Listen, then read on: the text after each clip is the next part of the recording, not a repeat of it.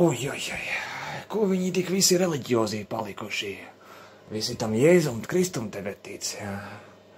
Kādreiz varēja tur normāli tos sātanistus sūtīt, viņi darīja visu, ko viņiem liek, nahai.